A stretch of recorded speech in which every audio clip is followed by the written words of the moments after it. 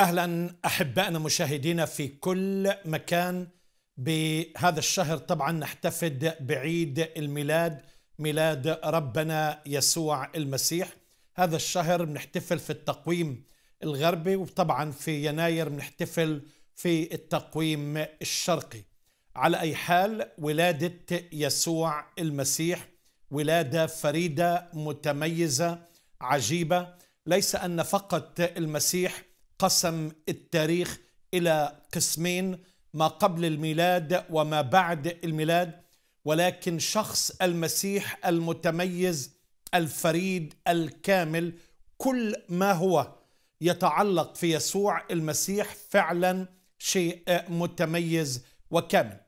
ولكن من مهد المسيحية من بداية المسيحية شن الشيطان هجوم شرس عنيف حرب ضارية وضروس ضد هوية وشخصية يسوع المسيح.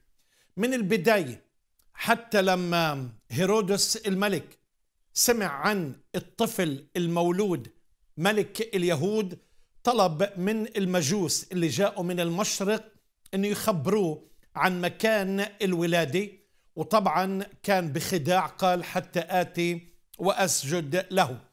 ولما أدرك إنه المجوس غيروا مسارهم وإنه فعلا يعني ما تمش اللي كان مفكر في القضاء على الملك من البداية الرب في حلم ظهر ليوسف وذهبت العائلة المقدسة إلى مصر. وفي هذه الفترة أحبائي قتل هيرودس كل أطفال بيت لحم. والقرى أو المحيطه المجاورة حول بيت لحم وكان في صراخ وبكاء عظيم جدا.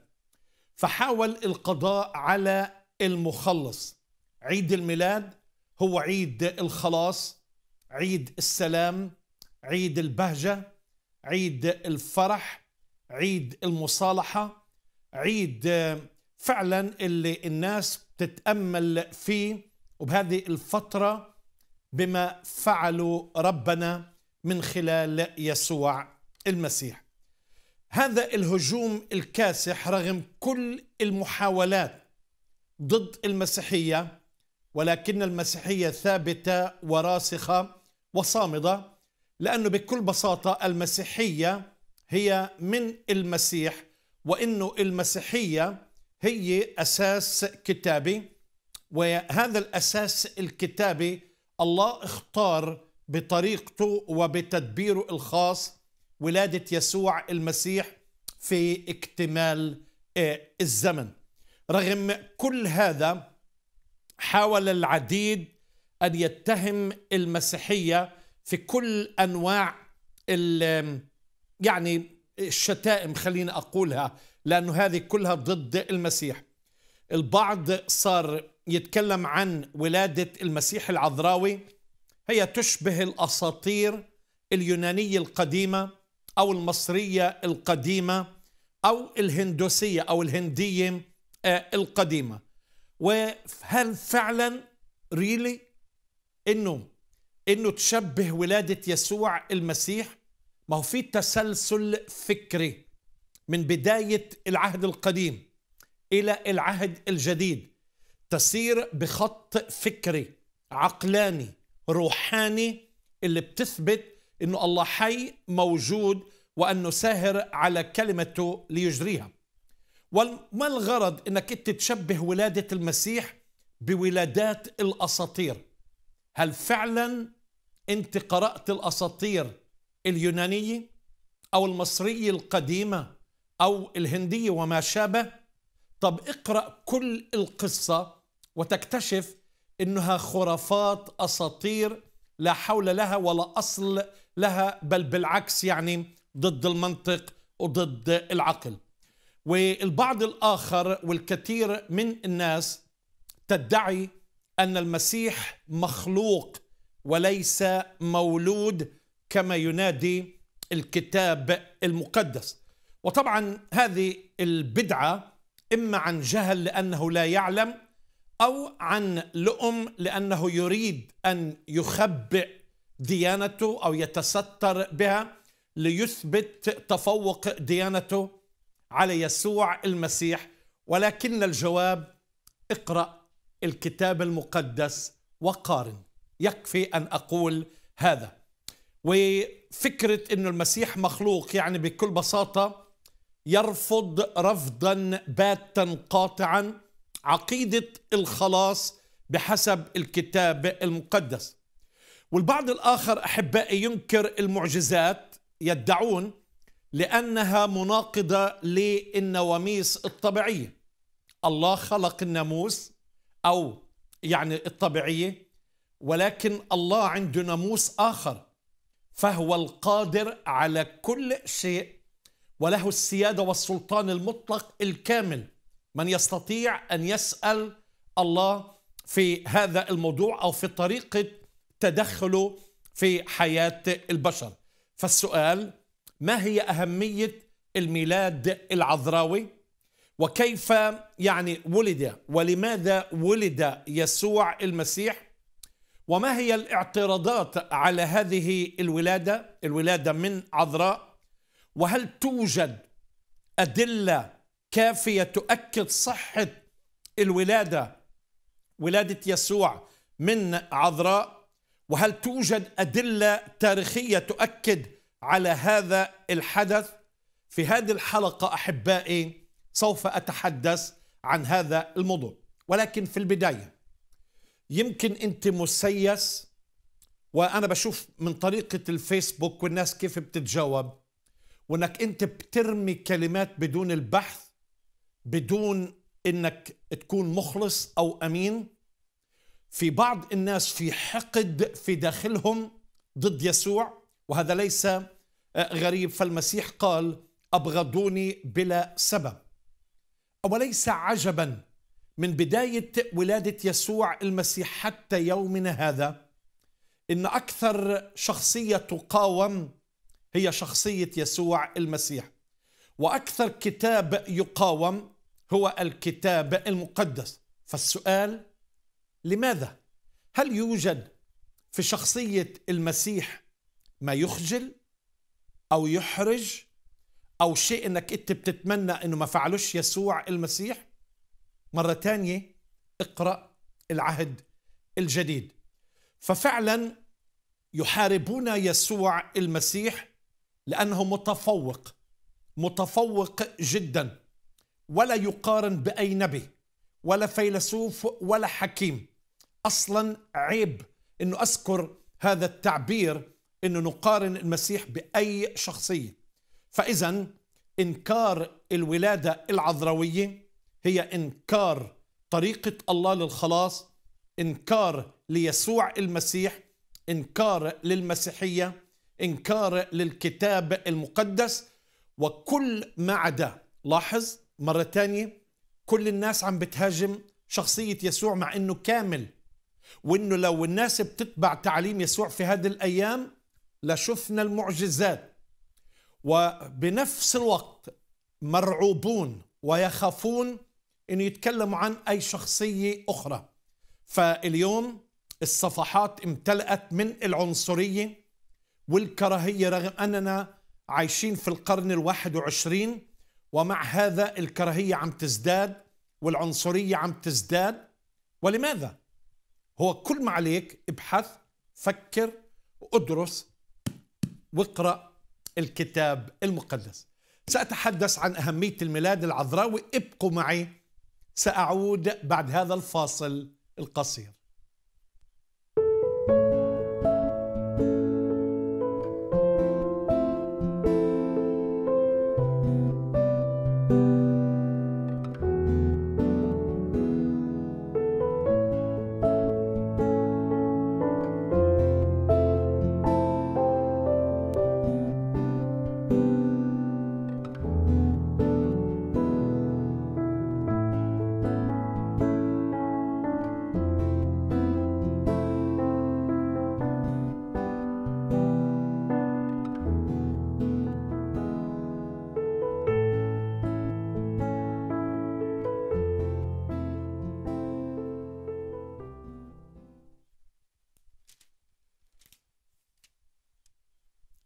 أهلا أحبائي أهلا ومرحبا بكم. بتمنى لكم في هذا الشهر عيد ميلاد مجيد وسعيد وفترة حلوة مع العائلة.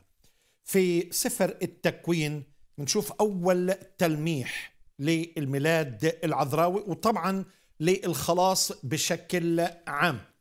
في آية 15 مكتوب وأضع عداوة بينك وبين المرأة وبين نسلك ونسلها. هو يسحق رأسك وأنت تسحقين عقبه. السؤال من هو نسل المرأة؟ ثم أحبائي الكتاب المقدس ابتدأ يوضح هذا الموضوع في سفر إشعياء النبي إصحاح سبعة والآية 14 اسمحوا لي أن أقرأ هذه الآية. مكتوب في إصحاح سبعة آية 14 آه، ولكن يعطيكم السيد نفسه آية. هل عذراء تحبل؟ وتلد ابنا وتدعو اسمه عمانوئيل. العذراء طبعا الحديث كان للملك عم بيقول له عمق الطلبة رفعه ولكن أحاز الملك هو كان ملك شرير ما كانش ولكن لم يؤمن بقدرة الله. فبقول له طيب أنت ما طلبتش أنا بعطيك الآية. الله نفسه يعطيكم آية. شو هي الآية؟ هل عذراء تحبل وتلد ابنا؟ لاحظ تلد ابنا؟ ومكتوب يدعى اسمه عمانوئيل. في العهد الجديد مكتوب تفسيره الله معنا الذي يولد من المطوبة القديسة مريم العذراء. هو عمانوئيل الله معنا. ألم يقل يسوع حيثما اجتمع اثنان أو ثلاثة باسمي هناك أكون في وسط؟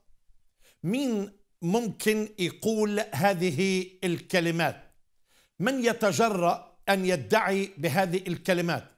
من يستطيع أن يقول وها أنا معكم كل الأيام إلى انقضاء الظهر ومين اللي بتجرأ يقول كل اثنين ثلاثة بيجتمعوا في اسمي؟ تخيل ملايين الاجتماعات وكل هاي الاجتماعات يسوع حاضر في كل مكان وفي كل زمان. العذراء تحبل وتلد ابنا وتدعو اسمه عما نؤيل الذي تفسيره الله معنا. حاول البعض يعترض على فكرة كلمة العذراء. كلمة عذراء في اللغة العبرية هي علماء علماء يعني شابة صغيرة. وهل يقول الكتاب إنه رح تحبل شابة صغيرة؟ طب شو الهدف من هذه الكلمات بحاولوا ينكروا الولادة المعجزية؟ في الكتاب المقدس في على مش مش على الأقل أكثر يعني من ست مرات يذكر الكلمة علماء بصيغة المفرد في اللغة العبرية أو على موت. على موت في صيغة آه، الجمع في اللغة العبرية. وفي كل هذه المرات بتتكلم عن العذارة العذارة يعني الغير متزوجات. 250 قبل الميلاد اجتمع أكثر من 70 علامة يهود محافظين حتى يترجموا الكتاب المقدس من اللغة العبرية إلى اللغة اليونانية. وعلى فكرة لما اختاروا كلمة علما ترجموها في اليوناني بارثينوس بارثينوس بتعني كمان عذراء بس عذراء لم تتزوج يعني بتول. فتخيل انت يعني كتابة الاناجيل بعد صعود المسيح يعني بفترة بسيطة سواء إنجيل مرقس والكتابات الأخرى. خلينا نعطيها من وقت ترجمة الترجمة السبعينية قبل الميلاد إلى الإنجيل بعد الميلاد مش أقل من 300 سنة. خلينا أذكركم إنه اللي بيبحث واللي بيفحص هذه الكلمات هم اليهود. واليهود معروف عنهم في التشدد والتزمت بالنسبة للكتاب المقدس لكلمة الله يعني بهمهم جدا جدا. فالترجمة بتعني عذراء يعني آه، بتول. فهذه الآية موجودة في العهد القديم وطبعا ترجمت أو تمت النبوة في العهد الجديد.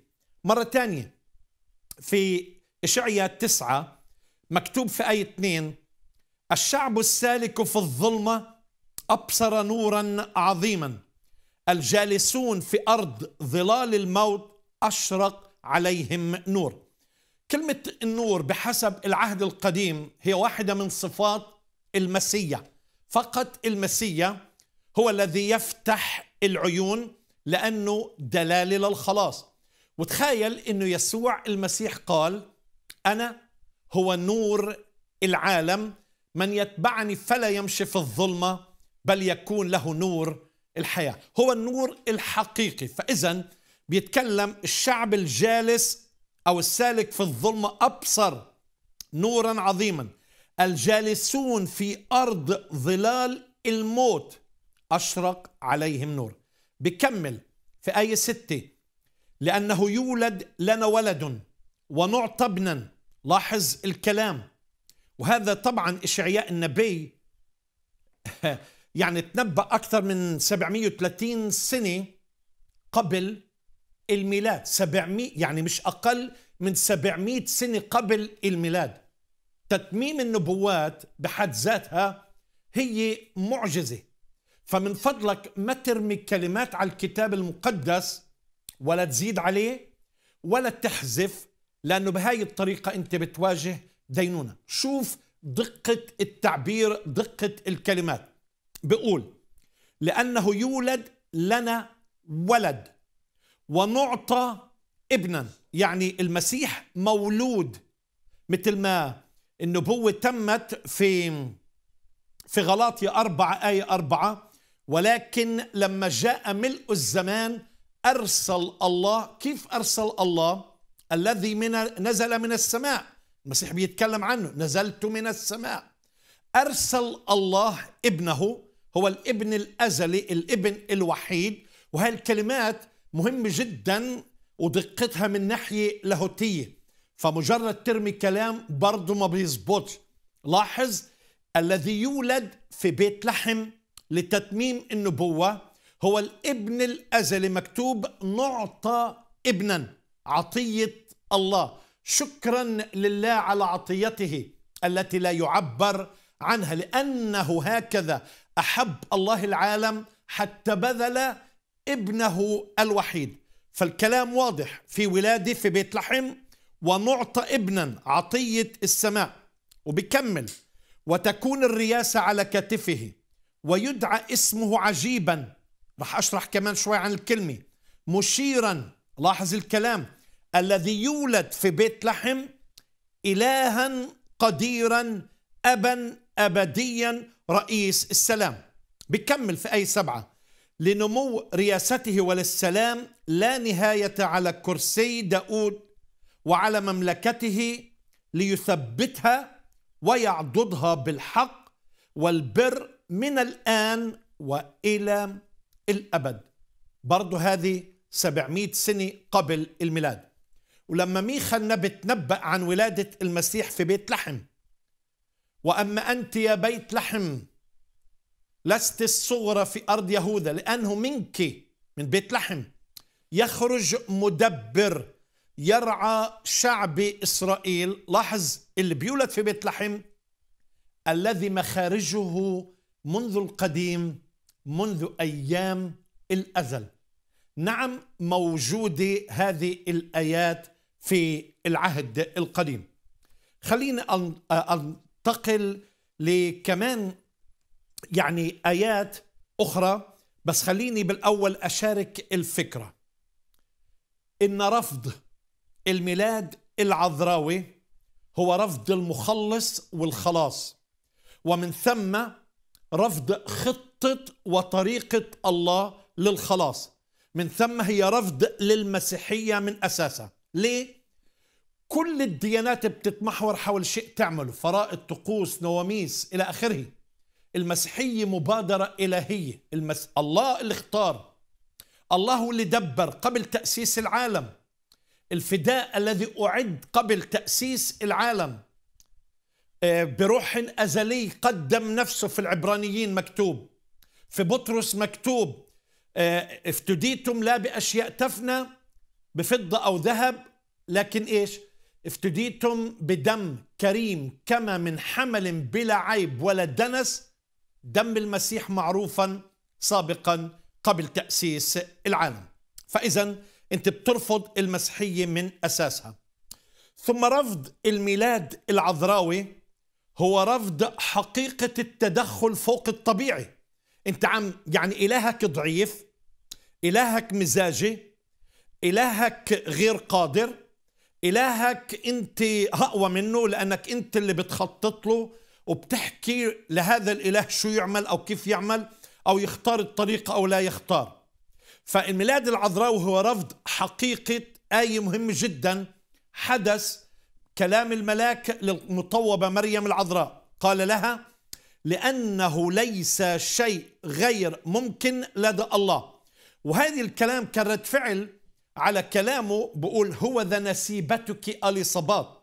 أليصابات كانت ساكنة بعين كارم في جبال اليهودية بعيدة عن الناصري حوالي 160 كيلو متر وكانت عاقر وكانت مسنة يعني كان عمرها فوق الستين. وزوجها كمان كان عجوز كبير بالعمر. ولكن لما ظهر الملاك في في قدس في القدس في هيكل أورشليم لزكريا قال له سمعت طلبتك. يعني الرب استجاب الطلبة وبكمل بيحكي لمريم كعلامة لإلها بقول لأنه ليس شيء غير ممكن لدى الله. فإذا أنت بدك يكون إلهك ضعيف وإنه غير قادر وغير يعني ما بيقدرش يعمل معجزات أنت حر. إله المسيحية هو الإله القادر على كل شيء. هو الإله الذي يصنع المستحيل. هو الإله الذي يتدخل في حياة الناس. ثم هو إنكار للمعجزات. لأنه أعظم معجزة يعني المسيح دخل للعالم بمعجزة. حبل به بقوة الروح القدس. في إنجيل متى وإنجيل لوقا. طبعا في بدع كثير في بداية المسيحية اللي حاولت تنكر الميلاد. فمثلا الغنوصية أنكرت الميلاد العذراوي. ليه؟ لأنه أنكرت أنه المسيح يتخذ جسد حقيقي جسد حقيقي. فهن لا يؤمنوا أنه الجسد مادي والمادة شر ولكن فعلا المسيح ولد من عذراء بجسد حقيقي.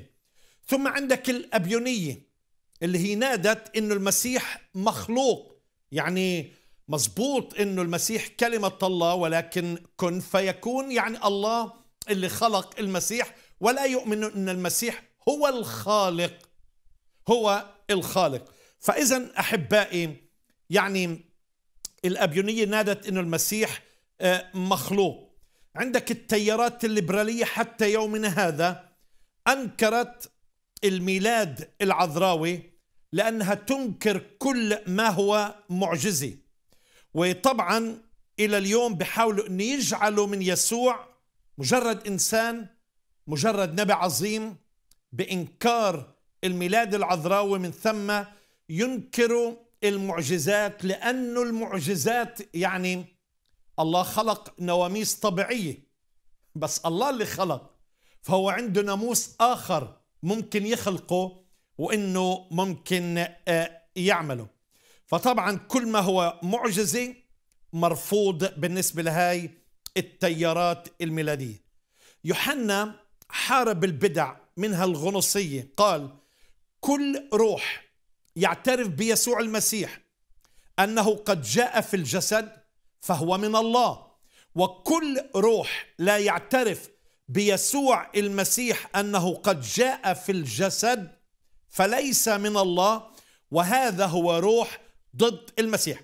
يعني إذا لم تؤمن بالميلاد العذراوي أن المسيح اتخذ جسد في ملء الزمان أنه مولود غير مخلوق فإذا أنت رفضت الفكرة بحسب البشير يوحنا وأنا يعني أقولها بك بصريح العبارة أنت ضد المسيح. وهي الروح هي روح شيطانية روح شريرة اللي بترفض مجيء المسيح في الجسد من ثم ترفض الخلاص الكامل من خلال يسوع آه، المسيح. بعدين إذا أنكرنا الميلاد العذراوي ليسوع كيف يمكننا أن نصدق كافة الأمور في الكتاب المقدس؟ ثم السؤال الثاني ما هو معيار القبول؟ يعني إيه اللي بدي يقنعك عشان تقبل؟ فإذا أنت رافض حترفض نو ماتر وات بغض النظر. ليه؟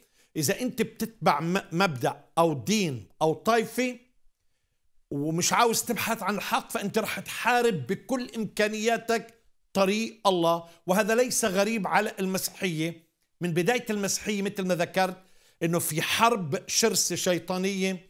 ضد هوية يسوع آه، المسيح. ثم يعني ما هو معيار القبول؟ آه، إذا بدكش تصدق إيه اللي ممكن أنت آه، تصدق؟ من لا يؤمن بالميلاد العذراء ولا يقدر أن يؤمن أن يسوع هو ابن الله الحقيقي. من ثم تنكر إنه الله إنه يسوع هو الله الظاهر في الجسد. من ثم تنكر المعجزات أو تنسب المعجزات لله لكن خارج عن إرادة يسوع. ولكن عندما تقرأ العهد الجديد بتشوف الأمر بيختلف كليا. فما تفرتكها ولا تحاول تتحايل بالكلام مثل ما بنسمع على صفحات السوشيال ميديا. فالكتاب واضح. بنشوف مثلا يسوع له سلطان على الموت أقام الموت بل يعني أقام نفسه أقام نفسه من الأموات. من يستطيع أن يفعل هذا؟ آه، سلطانه على الرياح وعلى الأمواج. ما هو اللي خالق الطبيعة. سلطان على الشياطين الكائنات الروحية. سلطان على الطبيعة يستطيع أن يهدئ العواصف. لدرجة استغروا من هو هذا؟ فإن الريح أيضا تطيعه. بيتساءلوا كانوا عن هذا السلطان. ثم ماذا عن إكثار وإشباع الآلاف أن يمشي على الماء؟ يعني قانون الجاذبية آه، تحويل الماء إلى نبيذ. يعني العناصر الماء لا لون له ولا طعم ولا رائحة. لما عمل المبيد صار له لون صار له طعم صار له رائحة. مين اللي عنده القدرة أن يقوم على هذا الشيء. فمحتاج شوية إخلاص وأمانة إنك تفكر في الموضوع بشكل جدي. فإذا ليه الميلاد العذراوي؟ لأنه مثل ما ذكرت أول شيء إذا مننكر الميلاد العذراوي فإذا نحن ننكر كل الإعجاز في الكتاب المقدس. نمرة اثنين الميلاد العذراوي ضروري جدا لفهم أهم حقيقتين حقيقة وهوية من هو يسوع. فالميلاد العذراوي خلينا نروح للحقيقة الأولى أنه مولود من امرأة أي أن المسيح هو إنسان كامل بلا خطية لكي يفدينا ويبررنا ويمثلنا أمام الله. وهذا التبرير فيك تقرأ عنه في رسالة روميا الإصحاح الخامس عبرانيين أربعة. فإذا المسيح مولود من من امرأة كإنسان كامل بلا خطية لكي يفدينا ويبررنا وفي نفس الوقت يمثلنا أمام الله. فهو الفادي. فداؤه وكفارته هي كافية وضرورية لكل الجنس البشري. ومن ناحية أخرى لأنه إنسان كامل يستطيع أن يمثلك أمام الله استطاع أن يوفي ويرضي الله يوفي المطالب العدالة الإلهية. فالله قال أجرة الخطية هي موت.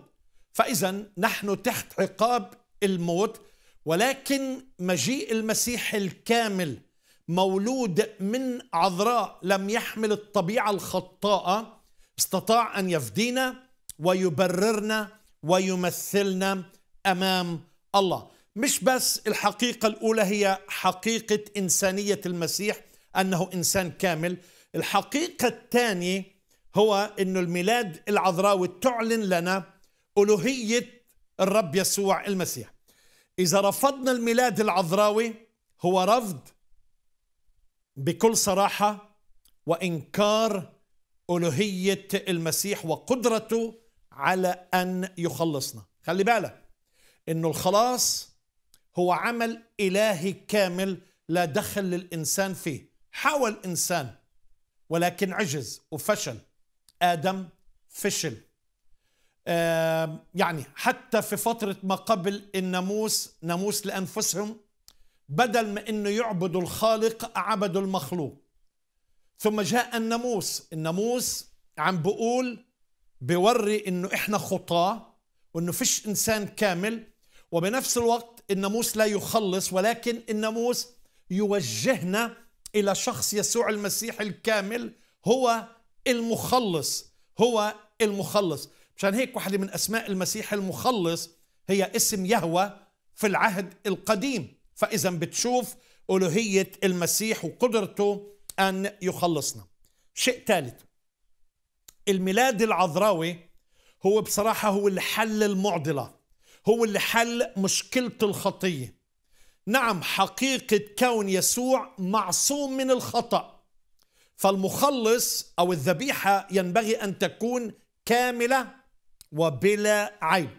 المسيح منزه عن كل خطية هو قدوس بار طاهر مكتوب عنه.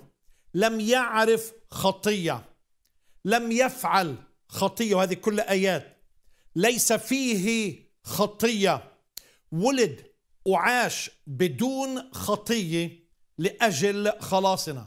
فهو النور الحقيقي لا ظلم البت فيه. نور لا يدنى منه. وهو الذي قال من منكم يبكتني على خطية؟ تظهر ألوهية يسوع المسيح. شيء آخر. عقيدة وحقيقة الميلاد العذراوي تقودنا إلى حقيقة خلاصنا بالنعمة. النعمة هي عطية مجانية لا نستحقها. بالنعمة وحدها لأنه الخلاص هو مبادرة إلهية. الله اللي بادر في موضوع الخلاص. الآب هو صاحب القرار. زي ما قلت إن الإنسان ما عندوش أي دخل في موضوع الخلاص. ثم الخلاص أحبائي هو من خلال ابنه المتجسد بعمل الروح القدس. لأنه يوجد إله واحد ووسيط واحد بين الله والناس الإنسان يسوع المسيح. حتى أن العذراء مريم هي أقرت بنفسها أنها أداة مختارة في عمل الله الفدائي. تعرفوا مكتوب فقالت مريم هوذا أنا آمة الرب ليكن لي كقولك. فاذا هذا الخلاص يعني ولد يسوع المسيح مش عشان يكون سوبر مان ولا نبي عظيم ولد المسيح الغرض من الولادة هو أن يموت على الصليب ويقوم من الأموات.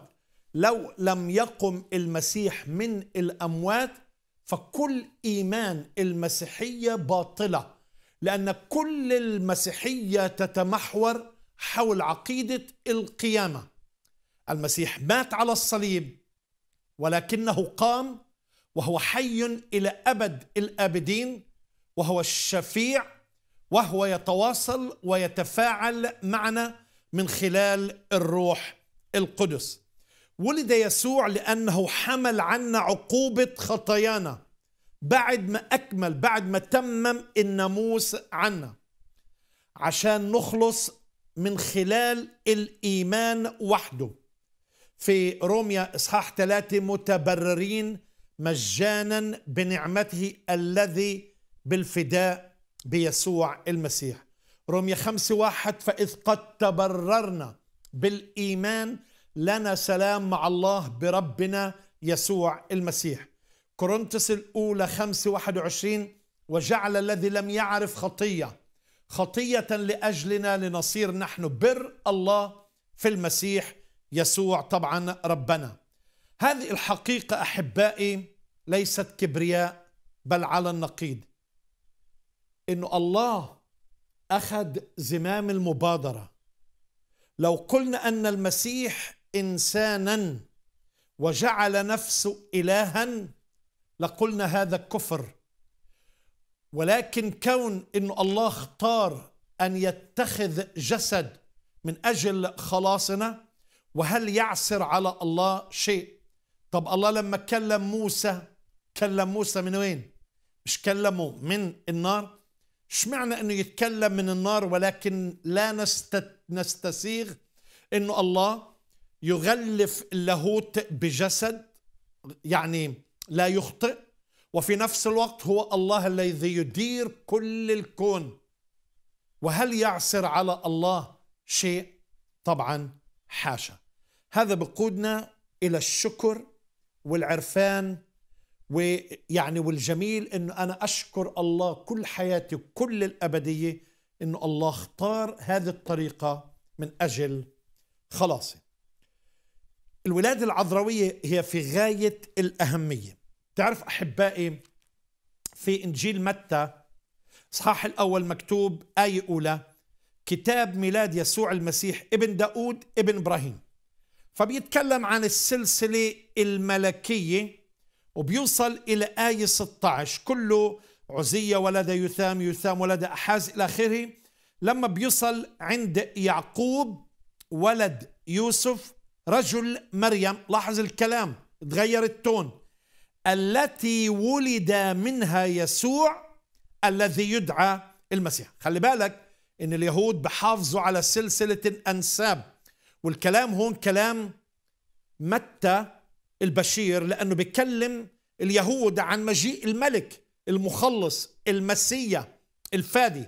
فهم بقول لهم إنه فعلا بحسب النبوات إنه ولد يوسف رجل مريم التي ولد منها يسوع الذي يدعى المسيح. في آية 18 بقول أما ولادة يسوع المسيح فكانت هكذا. كانت مريم مخطوبة ولكن يوسف أراد تخليتها لما عرف بالأمر لكن الملاك ظهر ليوسف قال له لا تخف أن تأخذ مريم امرأتك لأن الذي حبل به فيها هو من الروح القدس فستلد ابنا وتدعو اسمه يسوع لأنه يخلص شعبه من خطاياهم. وهذا كله لكي يتم ما قيل من الرب النبي القائل هو ذا العذراء تحبل وتلد ابنا ويدعون اسمه عمانوئيل الذي تفسيره الله معنا. اسماء المسيح المخلص الرب عمانوئيل ويسوع يعني المخلص وهكذا كلياتها أسماء صحيحة اللي بتتكلم عن هوية يسوع المسيح. أنتقل إلى إنجيل لوقا. الملاك جبرائيل جاء إلى الناصرة إلى القديسة مريم العذراء قال لها الرب معك مباركة أنت في النساء.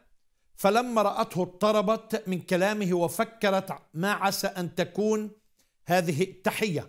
فقال لها الملاك لا تخافي يا مريم لأنك قد وجدت نعمة عند الله وها أنت ستحبلين وتلدين ابنا وتسمينه يسوع. هذا يكون عظيما. وابن العلي يدعى ويعطيه الرب الإله كرسي داود النبوة اللي قرأناها بإشعياء. أبي ويملك على بيت يعقوب إلى الأبد ولا يكون لملكه نهاية. فقالت مريم للملاك كيف سؤال منطقي كيف يكون هذا؟ وأنا لست أعرف رجلا. فإذا كلام مريم بدل أنه الولادة عذراوية. كلام الملاك ليوسف بدل إنه الولادة كانت ولادة من عذراء. وهذه الشهادة طبعا صريحة وواضحة. سألت أجاب الملاك وقال لها الروح القدس يحل عليك. لاحظ الكلمات. وقوة العلي تظللك. فلذلك أيضا مش القديس مكتوب القدوس. لاحظ الكلام يعني بدقة.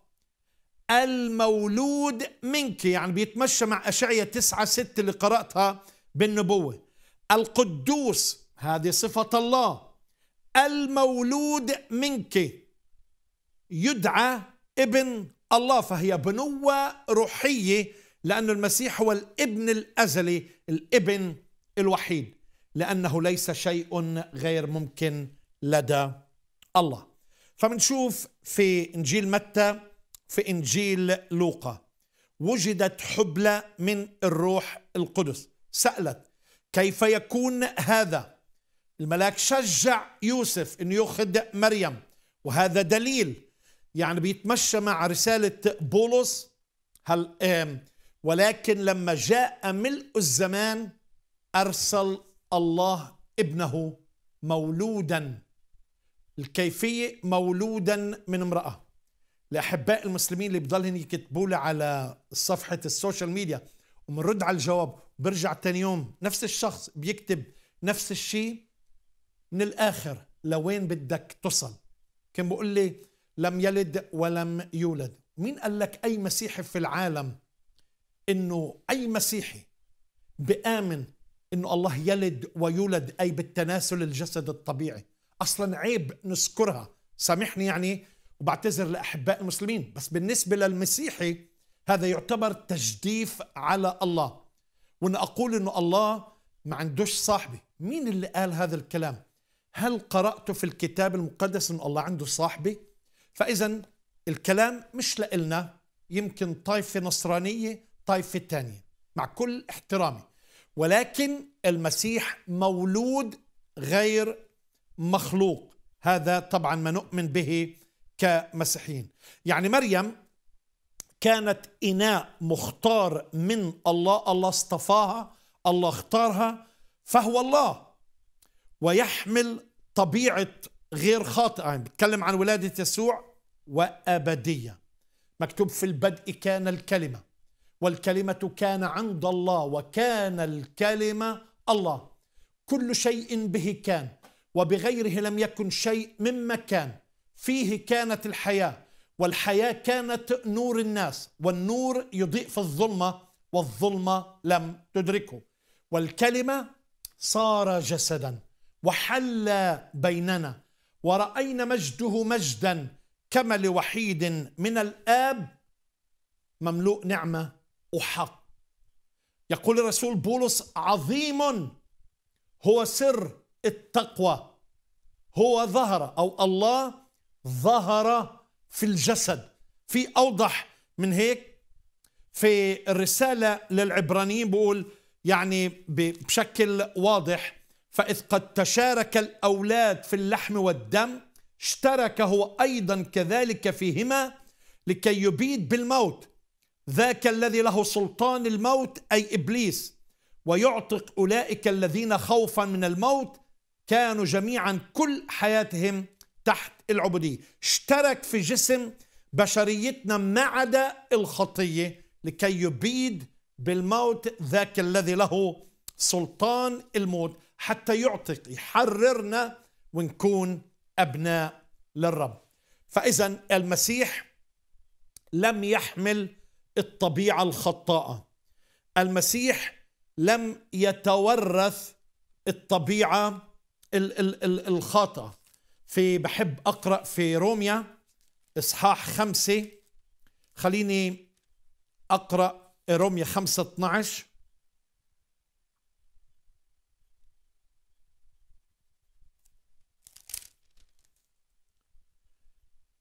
آه، مكتوب من أجل ذلك كأنما بإنسان واحد دخلت الخطية إلى العالم وبالخطية الموت وهكذا اجتاز الموت إلى جميع الناس إذ أخطأ الجميع. يعني لما أخطأ آدم إحنا أخطأنا في آدم لأنه آدم الأول هو الرئيس هو الممثل الجنس البشري اللي تورث الطبيعة إيه، الخطاء. بنفس الإصحاح مكتوب لأنه إن كان بخطية الواحد قد ملك الموت بالواحد فبالأولى كثيرا الذين ينالون فيض النعمة وعطية البر سيملكون في الحياة بالواحد يسوع المسيح.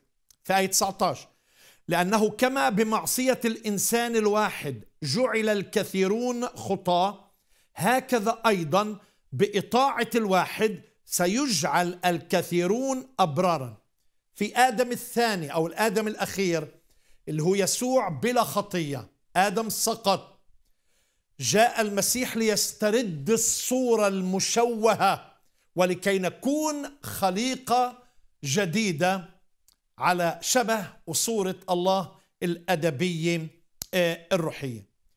طبعا الولادة من عذراء ضرورية لأنه حالة دون نقل الطبيعة الخاطئة للابن يسوع.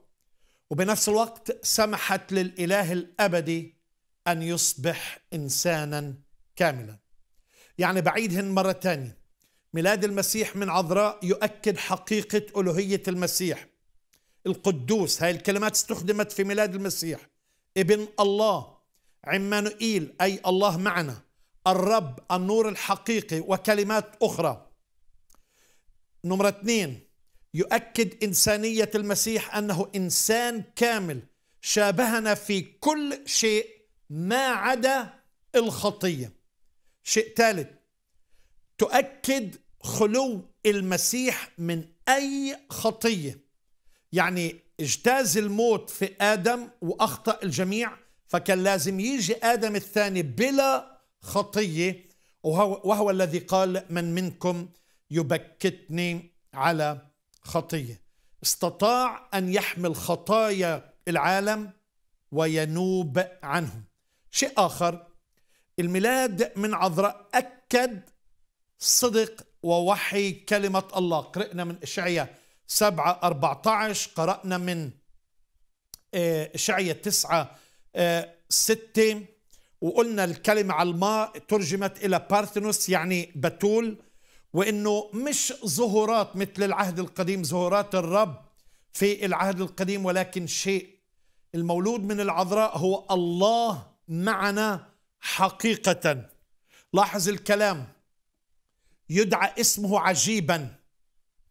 من زمان يعني بيقول الكتاب في العهد القديم لماذا تسأل في سفر القضاء؟ إصحاح 13 لأبو شمشون منوح. لماذا تسأل عن اسمي وهو عجيب؟ في آية جميلة جدا في في سفر الأمثال إصحاح 30 ويا ريت تقرأ كل إصحاح 30 في آية 4 و5 بقول من صعد إلى السماوات ونزل. بعدين بكمل يعني زي كأنه في التعبير كأنه حزرية أو أحجية يعني كأنه بيمتحن بيفحص الإنسان. عم بيقول له طيب ما اسمه؟ وما اسم ابنه. أمثال إصحاح 30 آية 4 و5 ألم يقل الرب يسوع في يوحنا إصحاح 3 آية 13 وليس أحد صعد إلى السماء إلا الذي نزل من السماء ابن الإنسان الذي هو في السماء. أتنكر لاهوت المسيح؟ إشعياء في إصحاح 53 بيقول من صدق خبرنا؟ الله ظهر في الجسد. تعرفوا قانون الإيمان المسيحي اللي بيجري على كل الطوائف المسيحية بغض النظر الاختلافات؟ بقول هذا الذي من أجلنا نحن البشر ومن أجل خلاصنا نزل من السماء وتجسد من الروح القدس ومن مريم العذراء تأنس.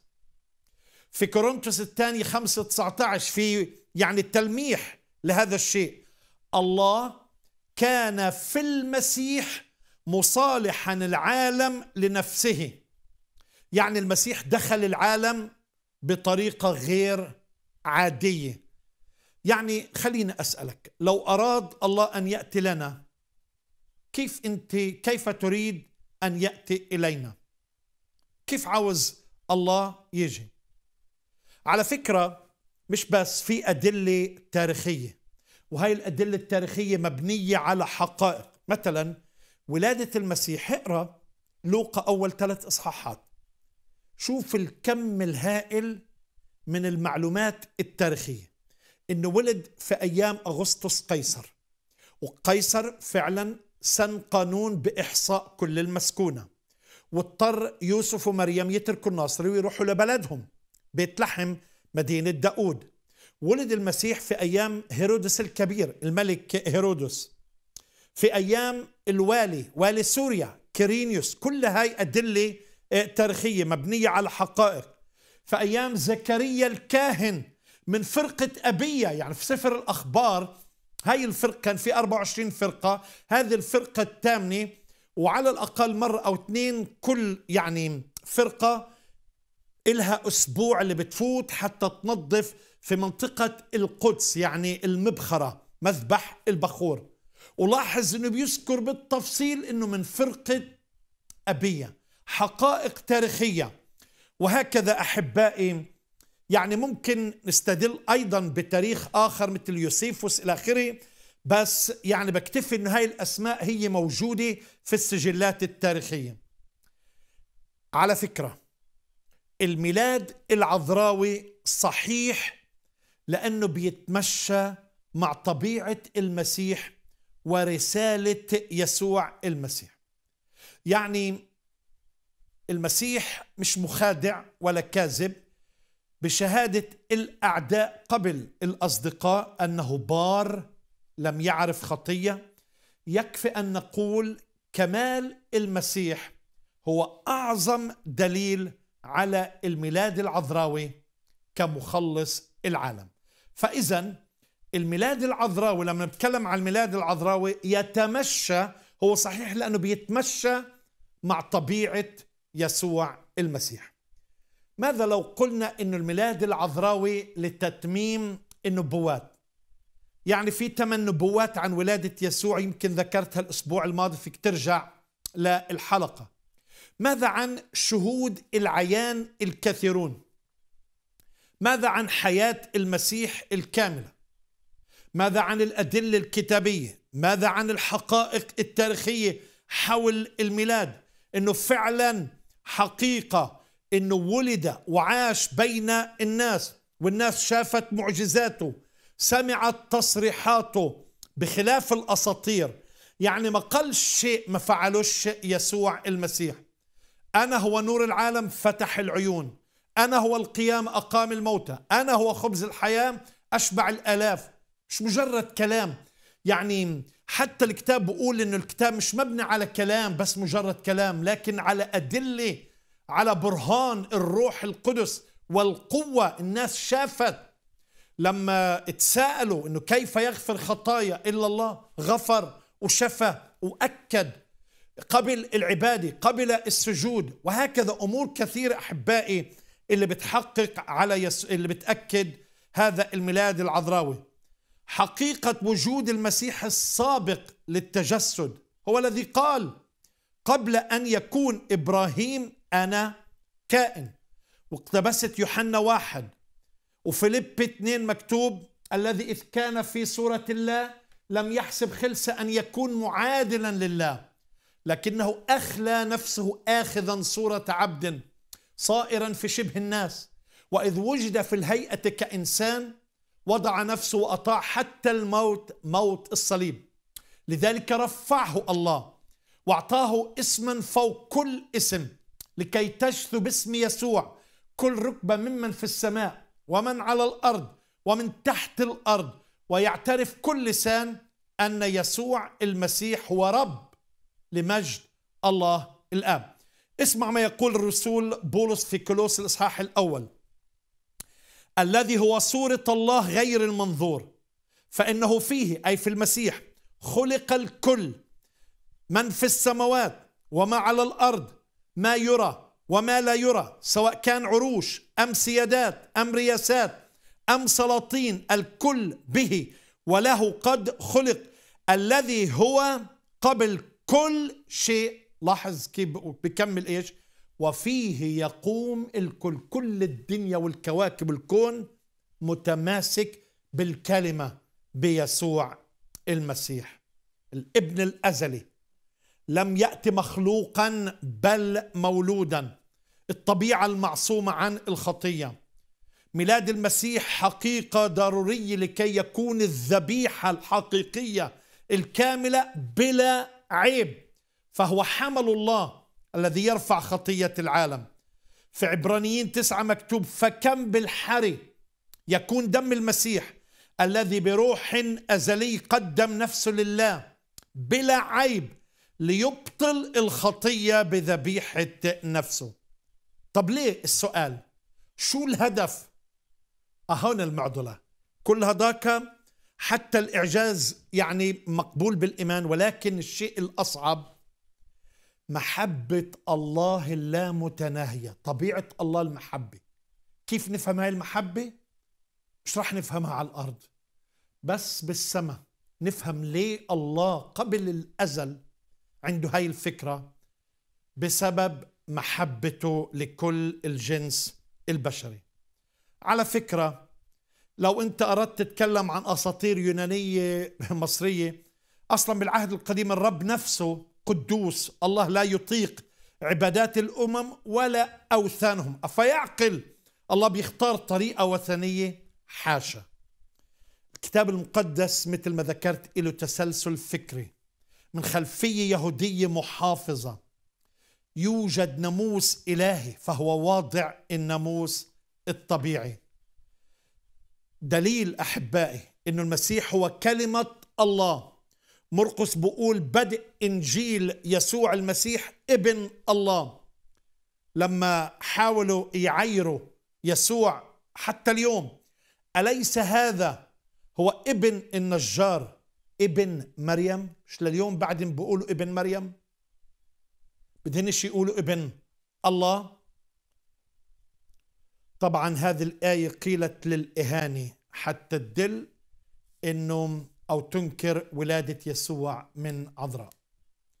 هذا شيء بسيط أحبائي اللي بتدل على الميلاد العذراوي. طالما المسيح ولد من عذراء لخلاصك. شو رأيك تختار في هاي اللحظات؟ تقول له يا رب خلصني. ارحمني. يا رب أنا بتوب أمامك. أنا بتوجك مخلص ورب على حياتي. على فكرة إذا أنت صليت هاي الكلمات ابعت هيك بالفيسبوك رسالة قول أنا قبلت المسيح. إذا محتاج مساعدة روحية بكل سرور. كل عام وأنتم بخير والرب يبارككم.